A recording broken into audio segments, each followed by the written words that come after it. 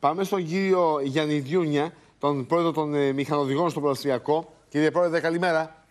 Καλημέρα κύριε Παυλόπουλε, καλημέρα στους ε, τηλεθεατές σας. Καλή Τι- δύναμη και Καλημέρα υπομονή. Τι σας. γίνεται με τα, με τα δρομολόγια του Προαστριακού; Αυτή τη στιγμή έχουμε, έχουν σταματήσει τα δρομολόγια προς Κιάτο, Χαλκίδα και έχουμε και προβλήματα στα δρομολόγια προς Θεσσαλονίκη. Εκτελούνται κάποια δρομολόγια στη γραμμή προς αεροδρόμιο ε, μεταξύ τους ΣΚΑ, ας- του κέντρου Αχαπνών που λέμε εμείς ε, και του αεροδρομίου. Γιατί από το πρωί, παρότι οι γραμμές είναι καθαρές, είχαμε εμείς όλο το βράδυ κάναμε χιονισμού. Δηλαδή είχαμε καθαρές γραμμές και ξεκινήσαμε το πρωί να δουλέψουμε. Ε, η υποδομή δεν μας βοήθησε. Κάποια κλειδιά για εχμές που διευθετούν τα τρένα μέσω τηλεδιοίκησης τηλεματικής ε, δεν λειτουργήσαν. Με αποτέλεσμα ένας σειρμός να εγκλωβιστεί, να εκτροχιαστεί ένα φορείο του σε ένα σημείο κοντά στο ΣΚΑ και να έχει κλείσει όλη η κυκλοφορία. Ε, Με και επιβάτες; να με τα δρομολόγια δυστυχώ. Με επιβάτες. Ε, ναι, ήταν ε, πολύ μικρός ελαφρυσιασμό. Ήταν το πρώτο πρωινό δρομολόγιο, γιατί ξεκινήσαμε να δουλεύουμε κανονικά εμείς σήμερα.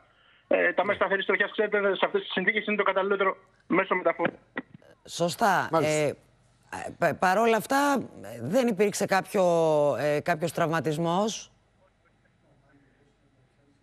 Νομίζω έχουμε... Έπεσε η γραμμή. Έπεσε η γραμμή. Ευχαριστούμε κύριε Πρόεδρε.